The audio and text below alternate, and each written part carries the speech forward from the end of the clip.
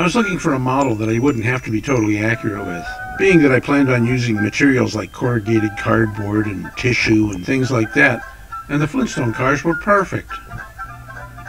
First I cut some round circles and rolled up some poster paper to make the wheels for Fred's car, and I made seats out of corrugated cardboard also. The sidebars, I took some poster paper and glued some skewer pieces to it, and then I pushed corrugated cardboard down around it, and it kind of naturally formed itself into log shape. I also applied the same method to the other side, but without the skewers. And then the tops and bottoms and the slots for the axles I wrapped with thin pieces of corrugated cardboard paper, which is similar to paper bag paper. For the roof, I bent a continuous wire that would fit around the seats and back up top again. You can see that piece in the top center. Below that you can see the side struts. To the left is the dashboard and the seats, and the canopy is on the bottom. I used tissue paper to give texture to the stone parts in Fred's car.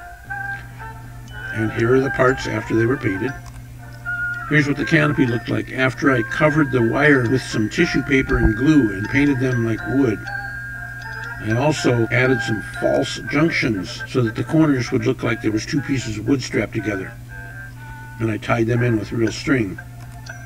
Fred's car was coming together pretty well. All that was left was the axles, and I finally got those in place. And Fred's car came out looking pretty decent.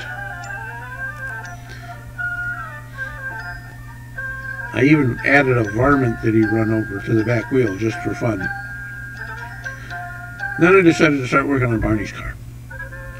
His was pretty straightforward. I rolled up a tube and I made some cones and I made some multiple layer corrugated cardboard wheels. I ran some straws through the vehicle so that I could use skewers as axles and they would run freely. I crushed the front and back ends of the cones to make them look more chopped out and the bark is actually made of tissue paper and glue. Then I painted the parts.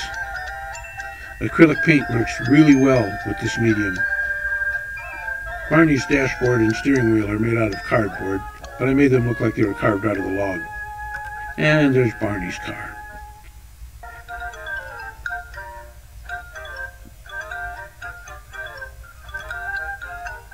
And two cars together. It was a fun project. Fred and Barney's cars.